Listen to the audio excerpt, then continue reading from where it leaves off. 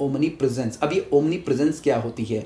जैसे कि हमने बताया कि हम अलग अलग अलग अलग तरीके होते हैं, हमारी वेबसाइट है इंस्टाग्राम है फेसबुक है, ये सारी की सारी चीज़ें होती हैं यूट्यूब है, पर हम लोग वहाँ क्या करते हैं? हम लोग किसी भी एक प्लेटफॉर्म के ऊपर ही स्टिक हो जाते हैं, या तो हम लोग व्हाट्सअप पे ही लोगों को मैसेज भेजते रहते हैं, या फिर हम लोग इंस्टाग्राम ही चलाते रहते हैं। पर यहाँ पे ओमनी प्रेजेंस का मतलब है कि आपको हर जगह पर ही अपनी प्रेजेंस बनानी है।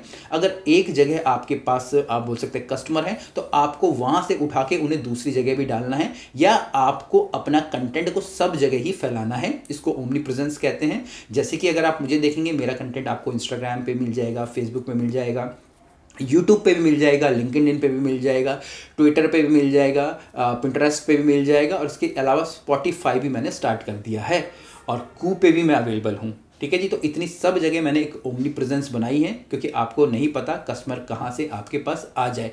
तो यही चार चीज़ों को या पाँच चीज़ों को, पाँच पॉइंट्स को आपको ध्यान रखना है। अगर आप ये खुद ही कर सकते हैं तो आप खुद करिए, या फिर आप किसी एक डिजिटल मार्केटिंग एजेंसी को ले सकते हैं।